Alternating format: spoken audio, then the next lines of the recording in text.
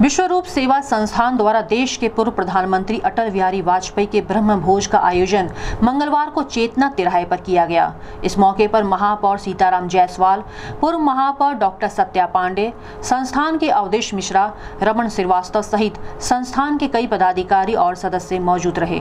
ब्रह्म भोज के पूर्व संस्थान द्वारा पिंडदान और संबंधित रस्मों की अदायगी की गई, जिसके पश्चात उपस्थित लोगों ने स्वर्गीय वाजपेयी के चित्र के समक्ष पुष्प अर्पित कर उन्हें श्रद्धांजलि दी। इस मौके पर वक्ताओं ने स्वर्गीय वाजपेयी के राजनीतिक संघर्षों को बताते हुए उनके बताए गए मार्ग पर चलने की संकल्प को दोहराया जिसके पश्चात राहगीरों को ब्रह्म भोज करवाया गया। हर मूल्य चुकाकर हमें उसे है शरीर नश्वर है।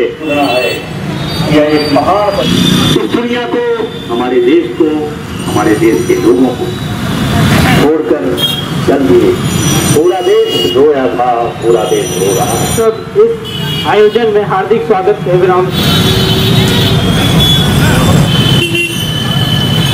भारत रत्न स्वर्गीय अटल बिहारी वाजपेयी। धन्यवाद महोदय। अटल जी का सारा जीवन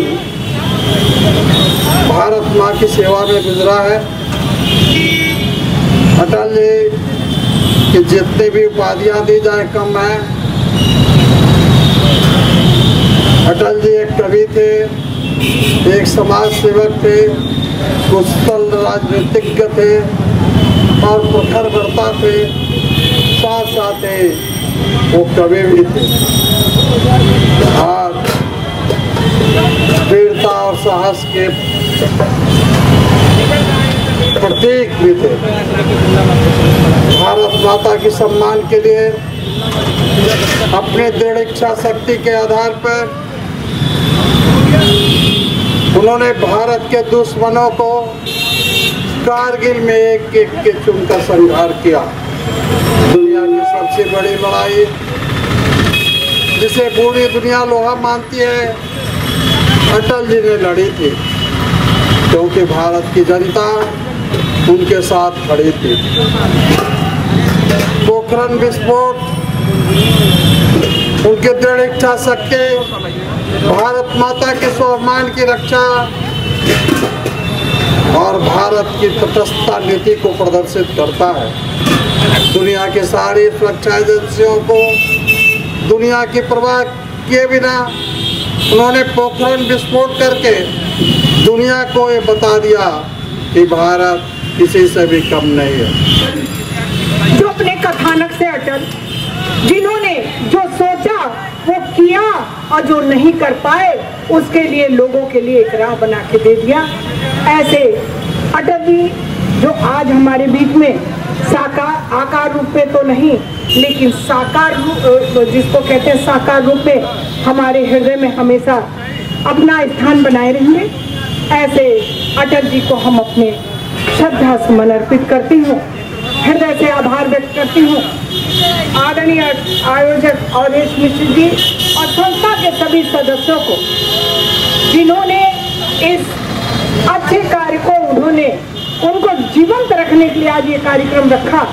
मैं उन्हें ढेर सारी शुभकामनाएँ देती हूँ कि आप ऐसे तरह अच्छे कार्यों को करें और आगे बढ़ते रहें, ताकि सेवक के रूप में जब जनता ने उन्हें प्रधानमंत्री बनाया तो उन्होंने एक उनकी सोच क्या थी कि हम ग्रामीण क्षेत्रों से शहर में आते हैं, पगडंडियों पर चलते हैं?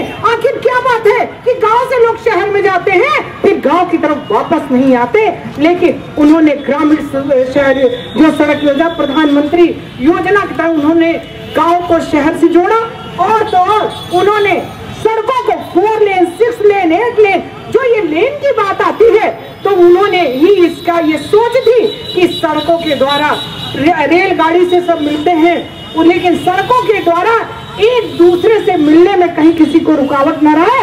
और तो और, अगर हमें साउथ में अगर कोई चीज़ है तो हमें उत्तर में रहने वाले को भी वो चीज़ पूरी सुविधा मिले।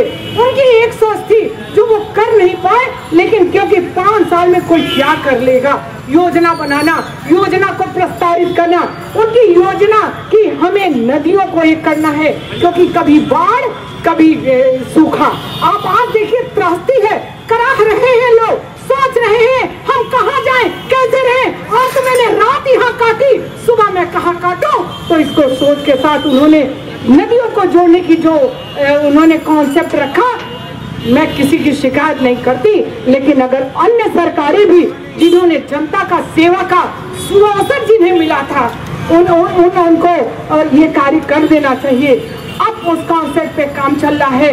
नदियों को जोड़ना एक से एक मिलाना और तो और कार्यकर्ताओं के लिए उन्होंने जो थाती छोड़ी इस देश के लिए वो एक मिसाल होगा। और वास्तव में ऐसे ही मिसाल कायम करने के लिए जब हमें ईश्वर पैदा करता है उम्र की ज़रूरत नहीं क्योंकि विवेकानंद जी भी बहुत ज़्यादा ज़िंदा नहीं रहे। आए हुए सभी लोग अब प्रसाद ग्रहण करें। आगे